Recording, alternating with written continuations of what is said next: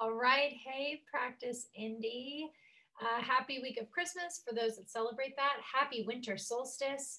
I uh, wanted to just share a little bit about this week's focus since we're going to be quiet on social media. And I know some people get their information about what we're focusing on from there and give just some considerations as we close out the year. So, this week's focus is Upadana, and we've been progressively building to this all month. Um, if you haven't noticed, most months do have an arc or have a story that we're trying to tell and um, and assemble everything around. So this month we started with our patterns, or our habits. Um, I might get this a little bit of, out of order, but we talked about samskaras, which are our habits. We talked about ahamkara, the ego self. So in order to become aware of our habits, we first have to become aware of ourselves and our misidentification with self, which is really what ahamkara um, means. Then we start to expose those patterns that we've associated with who we are. I'm a morning person, so I do these things. And uh, then last week we discussed viveka, which is discernment. So once we are aware of the self, the misidentification of self, and then um, the habits and patterns that instill or continue to um, reinforce that self, then we can arrive at viveka discernment of truth versus untruth or truth versus near enemies of the truth, things that look like they are um, assisting us on our path to expansion, growth, or self awareness, self acceptance, um, but really maybe are derailing us. So, this final week, with it being the winter solstice, with it being the week before we traditionally in our country and many other countries around the world set resolutions or goals, is Upadana. So Upadana is, um, you typically see it in two different places. One is the Sanskrit Pali, um, and it means fuel, uh, like fuel to a fire, fuel to a flame, um, or keep make, keeping a process active. Uh, and the more popular way that we see it is from the Buddhist lens, which there are four upadanas within Buddhism, within the structure of Buddhism and getting towards um, the relinquished self or um, nirvana or whatever terms we're, we're putting that in. So upadana from the fuel perspective really helps, I think, articulate the Buddhist perspective. So I'm going to start there.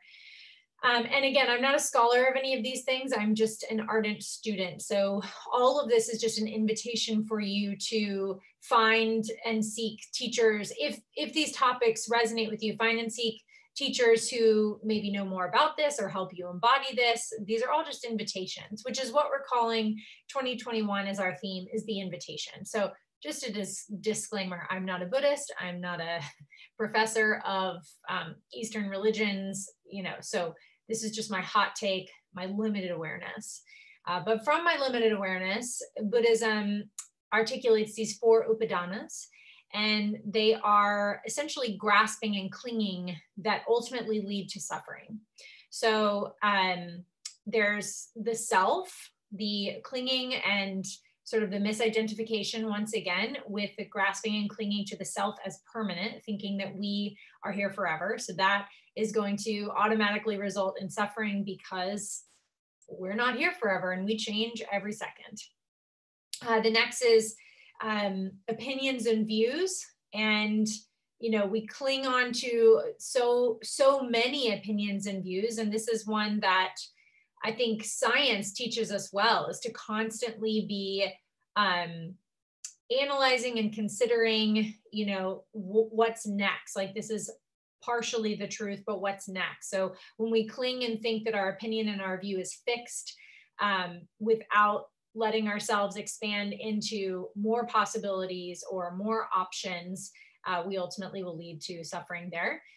Um, rises and rituals. So, from our opinions and views, we start to craft um, rituals around them and we become very fixed in those. And so, while I'm a big fan of rituals, this time of year is you know, punctuated with rituals, identifying with the rituals. For example, if you're struggling with how maybe your holidays are looking differently, that's an example of this clinging to the way it's supposed to be, how we always do it, instead of accepting that uh, perhaps this this year is going to look different. So um, recognizing our suffering and the clinging to our, our rituals as we believe they should always be And then sense objects. Um, clinging to rituals leads to clinging to things, to um, talisman, to our material living. And all of these things ultimately lead into suffering because going back to Viveka, many of them lead us to either near enemies of the truth or um, or just completely non-truths. So they're distractions and from the the whole self the pure self. And i would argue that sometimes they can be vessels too. But if we if we attach 100% to them and think um, that's the only way that this self is permanent and it's the only thing it's always going to lead to suffering. So moving over to the pali sanskrit definition of this or the uh, translation of fuel if you think about it, if whatever you put your energy into, right, is going to fuel that fire, is going to add timber to the fire to then increase the fire um, of suffering, if you will. So makes a lot of sense how those can be linked. And what we want you to consider in this final week of December, moving into January, is what can you let go of? If upadana is clinging, if upadana is the fuel to the flame, this is a time where the flame burns out. We're at the shortest day of the year right now. The least amount of sunlight, least I guess in this hem is it true for it's not true everywhere. It's just in this hemisphere. Um, sorry, this is giving me this is giving me a lot of anxiety. Uh, clinging, unnecessary clinging the hair, not me. I'm not clinging to it. The hair is clinging to the wrong side of my part. Anyway, um, so when we think about this time of year, you know, it's a time to rest. It's a time to put things to bed. It's a time for us to Marie Kondo a bit our attachment to self, our um, opinions and views, rituals, sense, sense objects. So I'm not saying like throw out the baby with the bathwater um, and just start all over, but I am having myself consider and would offer to you to consider there are a lot of things that didn't happen the way we thought they were going to happen in 2020 and that's what it is.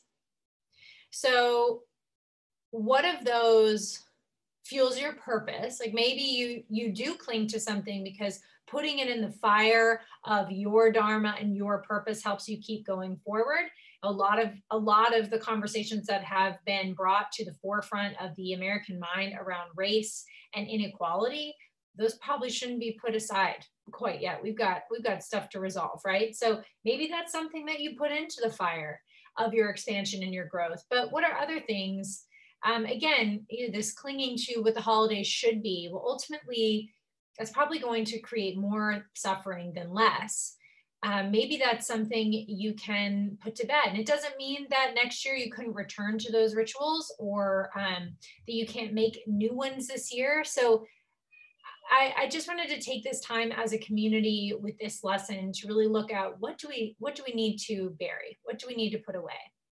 So with that, December 30th, we're going to be doing something a little different from our normal goal setting this year. We're going to have uh, sort of a burial service for 2020 a recap of our 2020. Um, and in that, just like a good burial service, we're going to put in, lay to rest those things that are no longer necessary, that we are ready to surrender and give up and yield to somebody else to take that energy and use.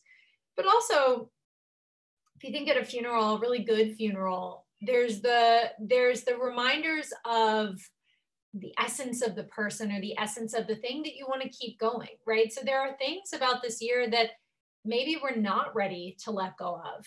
Um, I, for one, have really gotten some good sleep this year, like taken my sleep very seriously. And, you know, that's something I, I am clinging to. I'm still going to cling to that because that has really had a lot of benefit for me in this in this moment in my life. And i've learned to rest. I've learned to pause.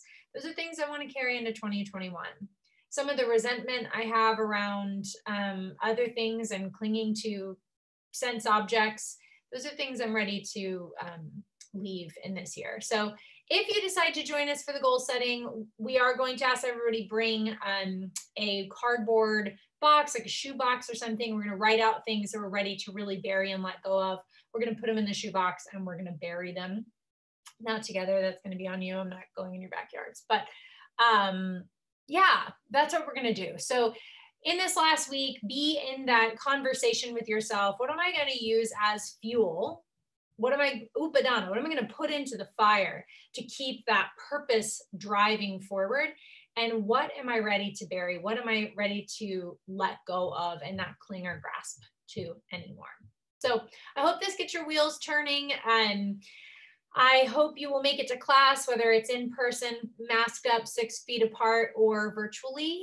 And um, just wishing you all a very healthy and happy holiday season.